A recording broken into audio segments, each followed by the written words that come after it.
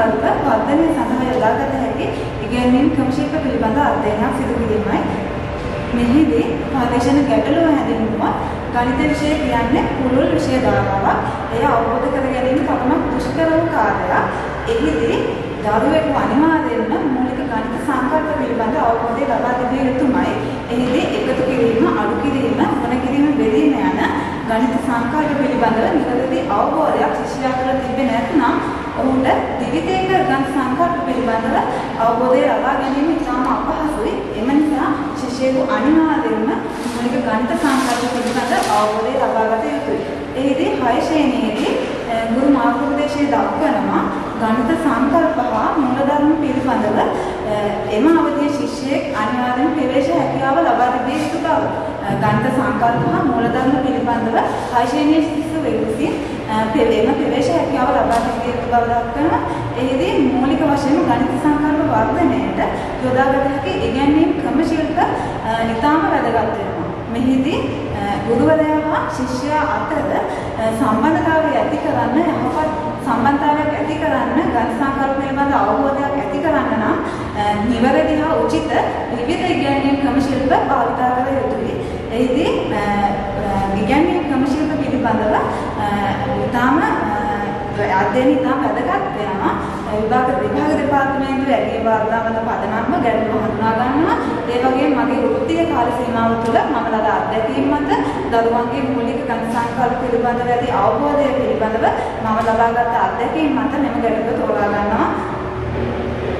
මගේ පාර්ශ්වන අරමුණු වශයෙන් දැක්වුවොත් පොදු අරමුණ වන්නේ ශිෂ්‍යයන්ගේ ගණිත විෂය සාධන මට්ටම ඵලදායී කර ගැනීම සඳහා බලපාන මූලික ගණිත සංකල්ප වර්ධනයට යොදාගත හැකි ඉගැන්වීම් ක්‍රම ශිල්ප කවරේද යන හඳුනා ගැනීම මගේ පරීක්ෂණයේ සුවිශේෂී අරමුණු හතරක් දක්වන්න පුළුවන්.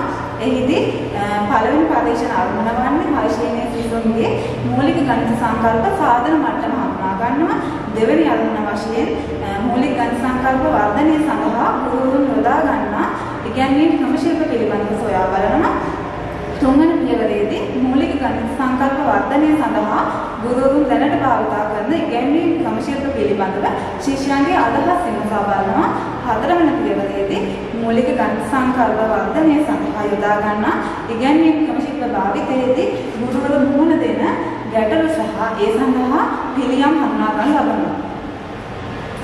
සාහිත්‍ය විමර්ශන පිළිබඳ සාකච්ඡා කළා මගේ ප්‍රදේශ නිබන්ධය සඳහා උචිතම සාහිත්‍ය විමර්ශන තුනක් මම දක්වලා තියෙනවා. එහිදී නව ඉගෙනුම් පෙවනතා කියන පොතේ රෝලන් අබේපායන් දක්වනවා ගණිත විෂයේදී එකතු කිරීම, අඩු කිරීම, වැඩි කිරීම හා බෙදීම යන සංකල්ප හතරයි. මෙම සංකල්ප හතර ඉතා හොඳින් සුකනාම්‍ය ලෙස සංකලනය කරගනිමින් නැවත භාවිතා කළ හැකි තරමට ශිෂ්‍යයෙක් අවබෝධ කරගත්තේ නැත්නම් ඉන් ඉහළට ගණිත සංකල්ප පිළිබඳ අවබෝධය ලබා ගැනීම නොහැකි බව දක්වනවා. ඒ වගේම 1964 ගණිත සංකල්ප දරුවන්ට හඳුන්වා දීමේදී ද්‍රව්‍ය හා ක්‍රියාකාරකම් පදනම් කරගනිමින් ඉගැන්වීම් සිදු කර යුතු බව ගණිත ව්‍යාපෘතියේදී හඳුනා ගන්න ලබනවා. එහිදී ගුරුවරු යොදා ගන්නා ඉගැන්වීම් ක්‍රම ශිල්ප දුර්වල වුවහොත් ඔවුන්ගේ ගණිත සංකල්ප පිළිබඳවද ගණිත සංකල්පද දුර්වල මට්ටමකට පත් වෙන බව දක්වලා තියෙනවා. එහිදී යොදා ගන්නා ඉගැන්වීම් ක්‍රම ශිල්ප ඉතා වැදගත් බව දක්වලා තියෙනවා.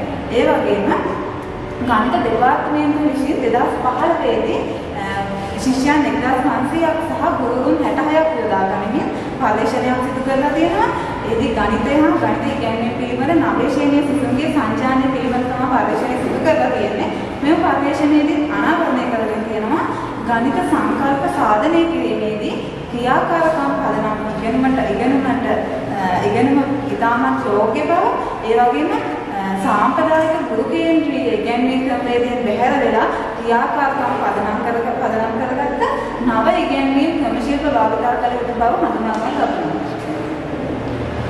ලබනවා. ප්‍රදේශීය වශයෙන් මම තෝරාගන්නේ කෑගල්ල දිස්ත්‍රික්කයේ දෙහියෝවිල කලාපයේ එක AB වර්ගයේ පාසලක්.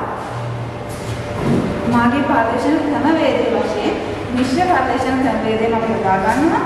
මෙහිදී ප්‍රමාණාත්මක හා ගුණාත්මක දත්ත රැස් කරගන්න ලබනවා. ඒකේ ප්‍රමාණාත්මක දත්ත වශයෙන් මම ඉස්ලාම් සිසුන්ට ප්‍රශ්න පත්‍රයක් ලබා දෙනවා. දත්ත රැස් කරගෙන ඉන් පස්සේ සම්මුඛ සාකච්ඡා නිරීක්ෂණ ඔස්සේ ගුණාත්මකව දත්ත රැස් කරගන්න ලබනවා. නියදිය වශයෙන් අහම නියදිය යොදා යොදා ගන්නවා. මගේ නියදිය වන්නේ එකේ ඒ වර්ගයේ පාසල නියදි ප්‍රමාණය වන්නේ ශිෂ්‍යුන් සිසුන් 40ක් සහ ගුරුවරුන් 5 දෙනෙක් යොදා ගන්න ලබනවා. දත්ත රැස් කිරීම සඳහා භාවිතා කරන උපකරණ පිළිබඳ සාකච්ඡා කර ප්‍රාථමික දත්ත වශයෙන් නිරීක්ෂණ ක්‍රමය, සාකච්ඡා ක්‍රමය, ප්‍රශ්නාවලි යොදා ගන්නවා. ඒ වගේම ශේෂ්ඨ සටහන් ආදී යොදා ගන්නවා. එහිදී නිරීක්ෂණයේදී ඉගැන්වීම් අවස්ථා පහක් මම නිරීක්ෂණය කරනවා. සම්මුඛ සාකච්ඡාවේදී ගුරුවරුන් 5 දෙනෙක් යොදා ගන්නවා. සම්මුඛ සාකච්ඡාව සඳහා සිසුන් 40 දෙනෙක් යොදා ගන්නවා.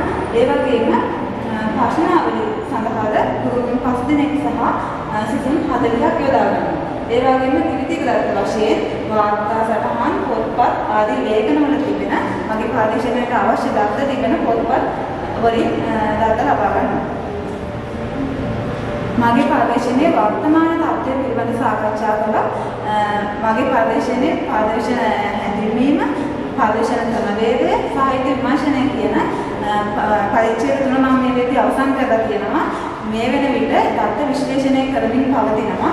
එහිදී දත්ත විශ්ලේෂණයේදී පරීක්ෂණ ප්‍රශ්නවල අනුකූලව ප්‍රමාණාත්මකව හා ගුණාත්මකව දත්ත රැස් කරමින් දත්ත විශ්ලේෂණය කරමින් පවතිනවා. එහිදී පළවෙනි පරීක්ෂණ ප්‍රශ්නය වන පරිශීලනීය සිසුන්ගේ මූලික ගණිත සංකල්ප සාධන මට්ටම හඳුනා ගැනීම කියන පරීක්ෂණ ප්‍රශ්නයට අනුව මම සිසුන්ට ලබා දෙන ප්‍රශ්න පත්‍රය එහිදී සිසුන් 40ක් මූලික ගණිත සංකල්ප පිළිබඳව ඇතුළත් කරලා තියෙන ප්‍රශ්න පත්‍රයට පිළිතුරු ලියන්න අවස්ථාව ලබා දෙනවා. එහිදී සිසුන් 40 දෙනා ලබාගත් ලකුණු මේ වගේ වගුවකින් අවස්ථාවකින් දක්වලා තියෙනවා. මේ ලකුණු විශ්ලේෂණය කරද්දී සිසුන්ගේ මධ්‍යයනයේ වශයෙන් ලකුණු වල සාමාන්‍ය අගේ වශයෙන් 31.2ක් මම කියලා සොයා ගන්නවා. ඒ වගේම ගොඩක් සිසුන් මාත පන්තිය වශයෙන් 30ක් 40ක් දක්වලා තියෙනවා. ඒ කියන්නේ ශිෂ්‍ය වැඩියෙන් ඉන්නේ ලකුණු 30ක් 40ක් අතර ප්‍රමාණයක් ගත්තලා සිසුන් සිසුන් ඉන්නේ. ඒ වගේම මෙහිදී වැඩිම ලකුණු වශයෙන් මට අතර ලබා ගන්න පුළුවන් උනේ ලකුණු 64ක්. එහිදී පේනවා සිසුන්ගේ මූලික ගණන් සංකල්ප පිළිබඳ හැකියාව ඉතාම දුර්වල මට්ටමක පවතින බව. ඒ වගේම මම දෙවන පාදේශන ප්‍රශ්නය වශයෙන් තෝරාගන්නේ මූලික ගණන් සංකල්ප වර්ධනය සඳහා ගුරුවරුන් දැනට භාවිතා කරන ඉගැන්වීම් ක්‍රම ශිල්ප පිළිබඳව අධ්‍යයනය කරනවා. එහිදී මම ලබාගත දත්ත අනුව දේශන ක්‍රමයෙන් හා සාකච්ඡා ක්‍රමයෙන් ගුරුවරුන් බහුලව උගන්වන බව මම සොයා ගන්නවා. 60ක් කියන්නේ මූලික ගණන් සංකල්ප ඉගැන්වීමේදී ගුරුවරුන් යොදාගන්නේ දේශන ක්‍රමය හා සාකච්ඡා ක්‍රමය බව. 60ක් කියන ලොකු පිරිසක් කියන දේශන ක්‍රමය හා සාකච්ඡා ක්‍රමය යොදා ගන්නා බව. ඒ වගේම 40ක් කියනවා දේශන ක්‍රමය හා සාකච්ඡා ක්‍රමය සමග ගැටළු විසඳීමේ ක්‍රමය යොදා ගන්නා බව. ආයේ 120ක් කියනවා දේශන ක්‍රමය හා කණ්ඩායම් ක්‍රමය යොදා ගන්නා බව. ඒ වගේම මම මේ පරීක්ෂණ ප්‍රශ්නය සඳහා ගුණාත්මකව දාත රැස් කරනවා. එහිදී සමග සාකච්ඡාවකදී ගුරුවරයෙක් දැක්වූ ප්‍රකාශනයක් දක්වලා තියෙනවා. එහිදී ගුරුවරයා දක්වනවා මූලික ගණිත සංකල්ප ගණන විට එකතු කිරීම, අඩු කිරීම, ගුණ කිරීම, බෙදීම වැනි ගණිත කර්ම මුලින්ම කරන්නේ දේශන ක්‍රමයෙන් උගන්වනවා කියලා.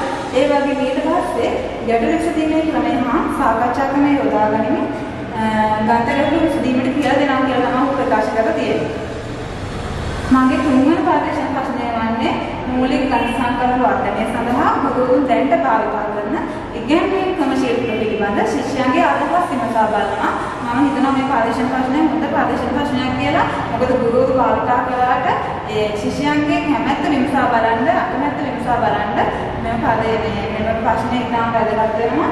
එහිදී ශිෂ්‍යයෝ කියලා තියෙනවා සිසුන් කැමැතිම ඉගැන්වීම් ක්‍රම ශිල්පය වන්නේ 175ක් කියන උන් කැමති ක්‍රීඩා ක්‍රමය කියලා. ක්‍රීඩා ක්‍රමය 175ක් කියන 120ක් කණ්ඩායම් ක්‍රමයට කැමති බව ප්‍රකාශ කරලා තියෙනවා. 105ක් ගැටළු විසඳීමේ ක්‍රමයට කැමති බව දක්වලා තියෙනවා. ඒ අතරින් තේරෙන සිසුන් කැමැතිම ඉගැන්වීම් ක්‍රම ශිල්පය වන්නේ ක්‍රීඩා ක්‍රමය බව. ප්‍රාථමික ශ්‍රේණි වල සිට පැමිණෙන දරුවා හය ශ්‍රේණියේ ද්විතීක ශ්‍රේණි වලට ඇතුළත් වීමේදී ඔවුන් දේශන ක්‍රමයට වඩා ඔවුන් ප්‍රාථමික ශ්‍රේණි වල ඉගෙනගත්ත ක්‍රියාකාරකම් පාදක ගැනීම ක්‍රීඩා ක්‍රමයෙන් ඉගෙන ගැනීම වැඩි වශයෙන් ඉගෙනගත්ත දරුවා හය ශ්‍රේණියේදී කැමැත්ත ප්‍රකාශ කරන්නේ ක්‍රීඩා ක්‍රමය වැනි ක්‍රියාකාරකම් හදාගනිමින් ඉගෙන ගැනීමට බව දක්වලා තියෙනවා. ඒ වගේම සිසුන් අකමැතිම ඉගැන්වීම් ක්‍රම ශිල්පය මම මෙහිදී සොයා බලනු ලබනවා. එහිදී සිසුන් දක්වන්නේ පන්තියට ඇවිල්ලා ගුරුවරයා කියවගෙන යන එකට ඔවුන් ඉතාම අකමැති බවයි. එයාම දේශන ක්‍රමයට ඔවුන් ඉතාම අකමැති බව 40 දෙනාගෙන් ශිෂ්‍ය 40 දෙනාම දක්වනවා. ඒ කියන්නේ 100ක් ප්‍රතිශතයක් වශයෙන් දේශන ක්‍රමයට ශිෂ්‍යයන් ඉතාම අකමැති බව දක්වනවා. ඒ ප්‍රදේශන ප්‍රශ්නයේදී මම සාකච්ඡා කරන ප්‍රශ්න කරන ගැටළු සුදීමේ ක්‍රමය කණ්ඩායම් ක්‍රමයේද ප්‍රශ්නාවලිය අතුලත් කරලා තිබ්බා. ඒකෙත් සිසුන් කියන්නේ ඔවුන් 100%ක්ම දේශන ක්‍රමයට අකමැති බව. ඒ වශයෙන් එහිදී මගේ පරීක්ෂණයේදී මේ මේ වෙන විට දතාගත තත්ත්වයන් අනුව දත්ත විශ්ලේෂණයේදී මම නිගමන කිහිපයකට එළඹිලා තියෙනවා. එහිදී හය ශ්‍රේණියේ සිසුන්ගේ මූලික ගණන සංකල්ප සාධන මට්ටම ඉතාම දුර්වල මට්ටමක පවතින බව මම හඳුනා ගන්නවා. ඒ වගේම එහිදී විශේෂයෙන් සිසුන් ගුණ කිරීම හා බෙදීම කියන ගණිත කර්ම පිළිබඳ ඉතාම දුර්වල මට්ටමක පවතින බව මට සොයා ගන්න ලැබුණා ප්‍රශ්න පත්‍ර නිරීක්ෂණයේදී. ඒ වගේම ගුරුවරුන් මූලික ගණිත සංකල්ප ඉගෙනීම සඳහා බහුල වශයෙන් භාවිතා කරන්නේ සාම්ප්‍රදායික ඉගෙනීම් ක්‍රමවේදයක් බව හඳුනා ගන්නවා. ගුරුවරුන් වැඩියෙන් යොදාගන්නේ දේශන ක්‍රමයේ බව අනාවරණය කරගන්නවා. ඒ වගේම සිසුන් අකමැතිම ඉගෙනීම් ක්‍රම ශිල්පය බහුල වශයෙන් ගුරුවරුන් භාවිතා කරන බව හඳුනා ගන්නවා. සිසුන් කැමැතිම ක්‍රීඩා ක්‍රමය කණ්ඩායම් ක්‍රමය වගේ සිසුන් කැමැති ඉගෙනීම් ක්‍රම ශිල්ප ගුරුවරුන් යොදා ගන්න ඉතාම අඩු වෙන සහ ගුරුවරුන් යොදා නොගන්නා බව තහවුරු වෙනවා. ඒ වගේම කාලදාමව මම සැප්තැම්බර් මාසයේ සිට අප්‍රේල් මාසය දක්වා පියවර 8ක් ඔස්සේ මේ පාදේශන නිබන්ධය කරමින් පවතිනවා. ආශිත ගණනාවලිය ලෙස මගේ පාදේශනය සඳහා අවශ්‍ය තොරතුරු දත්ත ලබාගත් පාදේශන දක්වලා තියෙනවා. Thank you.